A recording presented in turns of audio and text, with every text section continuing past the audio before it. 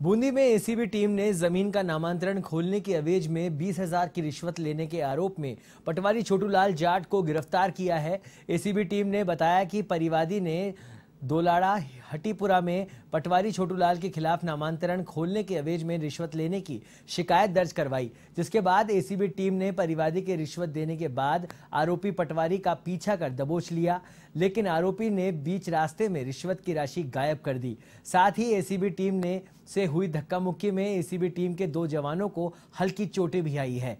ऐसे में अब एसीबी टीम पूरे मामले की जाँच में जुट गई है। दो तारीख को हमारे एसीबी चौकी बूंदी पर परिवार ने शिकायत पेश करी थी कि सर, मेरी एक ज़मीन है जो बीपनवा के पास है। उस ज़मीन का म्यूटेशन खोलने की एवज में जो पटवारी है, छोटू लाल, वो चालीस हज़ार रुपये रिश्वत मांग रहा है।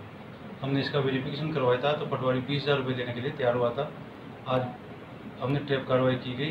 ट्रैप कार्रवाई में जो परिवादी आरोपी छोटू लाल है, इसने अपने देवपुरा में जो इसका ऑफ़िस है किराए का, उसके सामने परिवादी से पैसे लेके और फरार हो गया।